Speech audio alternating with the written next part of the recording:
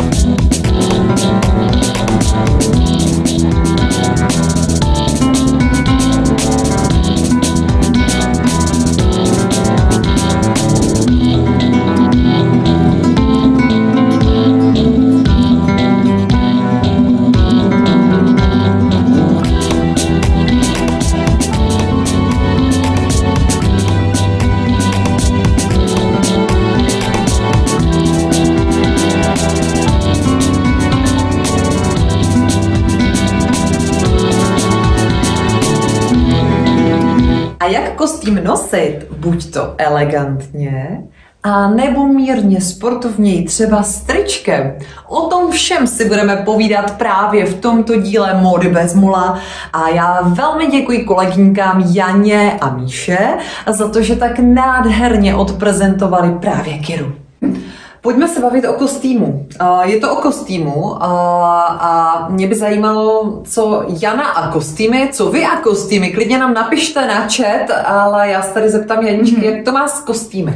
Já miluju kostýmy, ale je pravda, že se musím hodně vybírat, protože mm-hmm. mám ráda spíše kostýmy pánského stylu, střihu. Takže ne každý mi úplně sedne, ale když se najde ten pravý, tak pro miluju kostýmy. Mm-hmm. Mám moc ráda. A i ráda kombinuju, že si někdy vezmu jenom kalhoty zvlášť nebo sako zvlášť.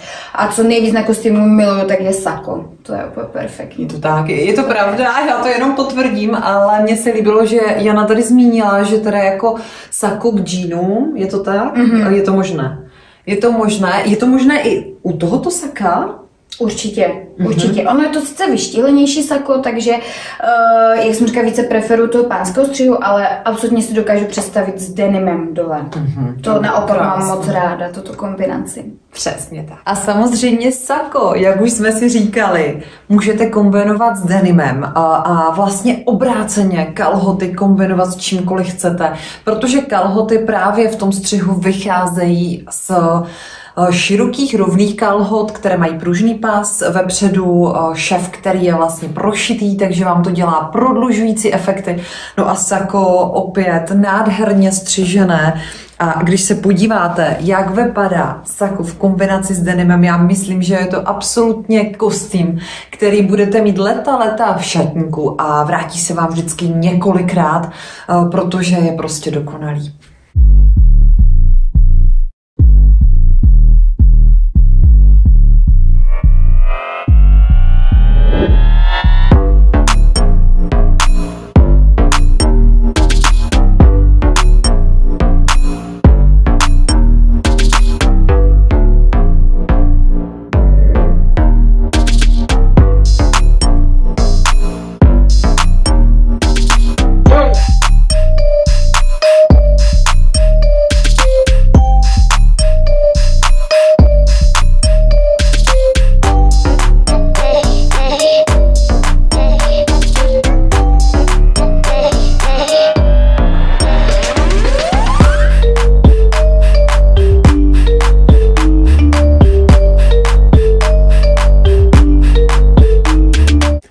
A nebo sako skombinujeme s nádherným modelovým šátkem, který takhle ležerně můžete nechat rozvěšený. Vždycky řešíte, co s šátkem, jak ho vázat. Tyto modelové šátky nemusí mít žádný speciální úvaz. Stačí, když ho jenom opravdu přihodíte a s lehkostí protočíte, protože e, není to hedvábí, e, není to úplně ta vrcholná elegance, je to takové to nositelné, měkké, takže tady naopak nějaké stylizování by bylo na škodu, takže pamatujte, je to ta nejsnažší věc, kdy prostě jenom třeba přihodíte a tady na mě můžete vidět, že je to prostě čisté a udělá to hodně parády. Dodá to té černé, po případě barvičkám, jako je červená, krémová, béžová, tu správnou eh, notu, kde se rozehraje právě to outfitování. Jinak opět stejné sako, ale tentokrát eh, s Monary eh, roláčkem v černém odstínu. Nezapomínejte u denimu, zvlášť u vysokých pasů, které stále ještě trendy jsou, i když už se nám ty pasy hodně, hodně snižují.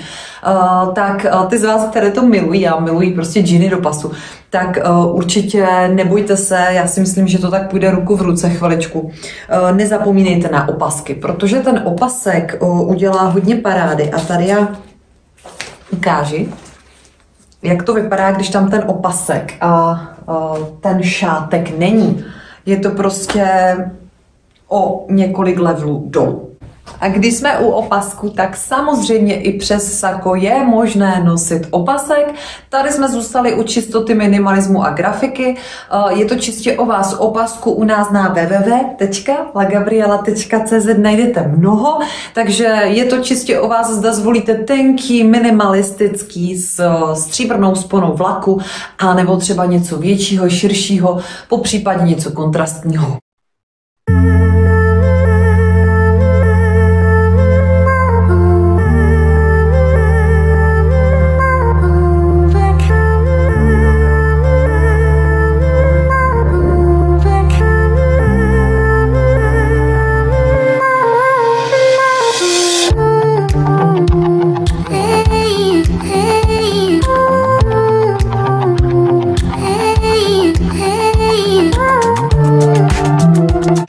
změnili jsme tričko a najednou ten kostým opět působí trošičku jinak. Tričko je ze slev, opět Monary, takže opět casual.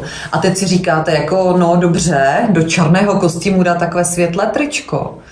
Uh, Janí, a my tady máme takhle tady něco na nožky a tam je ten for. Tak povězte, co je to za for a proč to funguje? Tady mi právě baví ta hravost, že změníte tričko, změníte, změníte tím celý outfit. Uh, tady je hravost v tom, že samozřejmě nám to krásně ladí s tričkem a zase to hodí více do elegance, takže třeba jdete na nějakou business party a vyměníte tenisky za tuto úžasnou botu a jdete a budete hvězda. A máme tady změnu. Strička do biznisu, strička uh, do víc formálního luku, formálního vzhledu. Uh, Janí košile, asi jasná volba. Je to určitě jaký už fakt business look. Mm-hmm. Takže můžete i trička zaměnit s košilí a máte takový business. Mm-hmm. My jsme schválně zvolili kombinaci boty, kde je ta klasická černá, ale je tam ta jemná bílá. Takže ať už zvolíte potom košili bledě modrou nebo bílou, je to úplně jedno, nebo právě skombinujete s hravým puntíkem z kolekce Skiry, tak to bude vypadat báječně. Takže nezapomeňme určitě i na botky eh, ze slev, protože tam se skrývají poklady. Samozřejmě záleží, jestli je to zrovna vaše velikost. Eh, já myslím, že kostým jsme viděli zleva, zprava ale samozřejmě nedá, nedáme a nedáme pokoj, ale budeme dále pokračovat, protože co se sakem, jak ho zkombinovat a co ještě víc se dá dělat, tak uh, o tom za chvilku. Uh, Janí, my jsme dneska tady zkoušeli a řádili s kostýmem číslo jedna od uh, Kiry. Mm-hmm. Uh, je černý. Mm-hmm. Mm.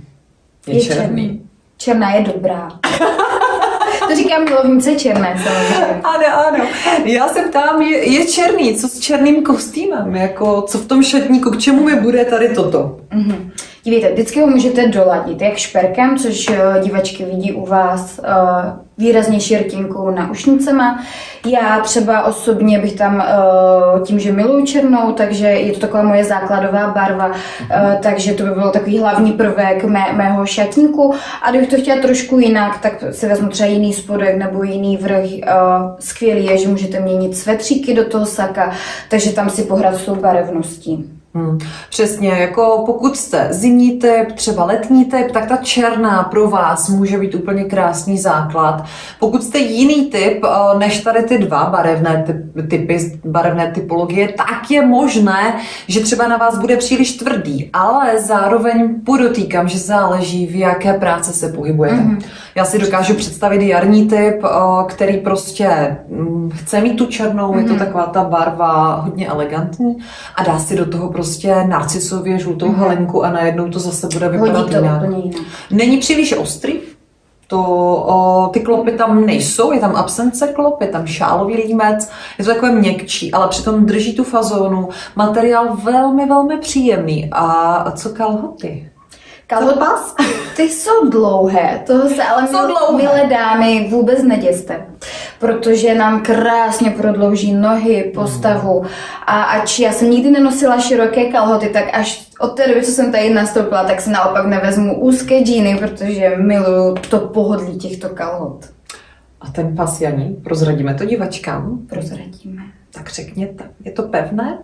Uh, není to tak, ne, je to na gumu, takže mě, wow, doma se dáme zaměstnání, tak si myslím, že nic lepšího. Přesně, přesně. Já na to mířím, protože já, když se řekne kostým, tak já nevím, jak vy ani, ale mm. já si představím takovou tu prudernost, mm-hmm eleganci, takovou tu, jako hlavně to není pohodlné, mm-hmm. takové to... I hodně, že se jako krčí ten materiál, co mm. opravdu vím z dřívěžka, ty kostýmy, mm. tak Takové to, to usedlost možná mm. mě napadá, když se řekne kostým, tak se každý jako naježí, že je to usedlé. A tenhle kostým můžete nosit k teniskám stejně pěkně jako k podpadkům. Můžete si ho vzít do divadla a stejně dobře ho využít eh, prostě pomalu na procházku nebo na nákup, protože opravdu je hodně variabilní.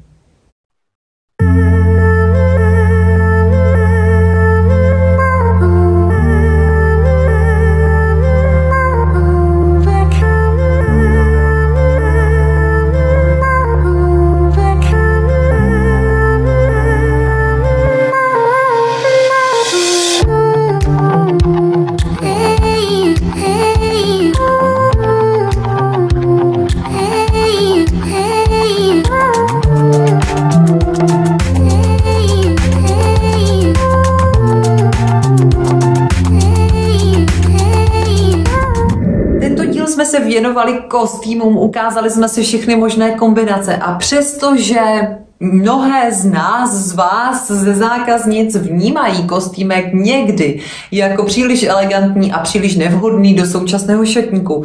Tak opak je pravdou. Já si myslím, že letos si toho všimnete téměř všechny, protože kostýmy se nám valí do popředí jako hlavní téma jarní kolekce a já si myslím, že to bude jedno z hlavních témat i podzimní kolekce.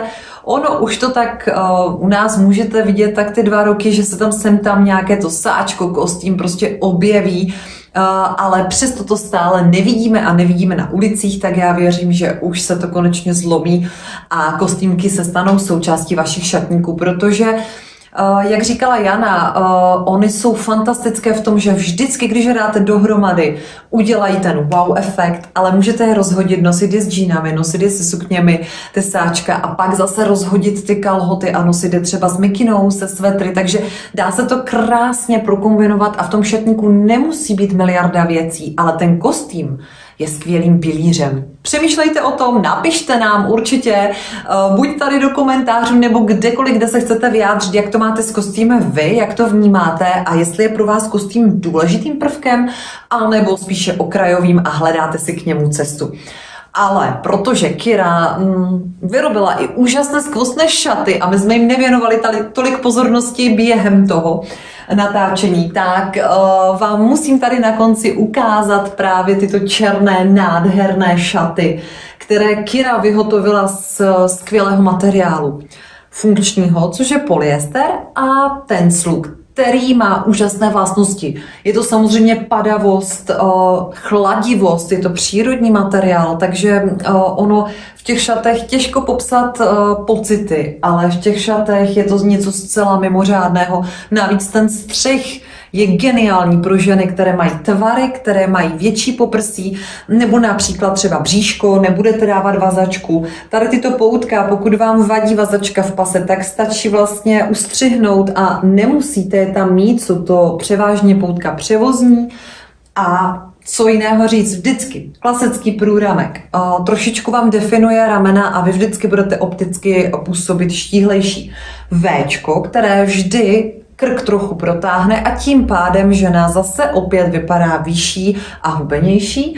No a tady mě teda baví ještě uh, na okrajích tyto průstřihy do kulata, protože tyto průstřihy do kulata právě dělají z těch šatů tím, že uh, tam je jakási tíha ve spod, uh, mimořádný zážitek, když jdete. Takže by se dalo říct takové klasické černé, které ale mají úplně, úplně uh, jako jinou dimenzi, když je oblečete.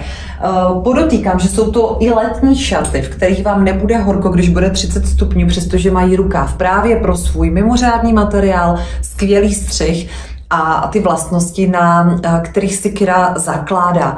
Mimochodem, Kira je velmi ekologická značka, takže používá vždy certifikovaná barviva, kde můžete dohledat původ.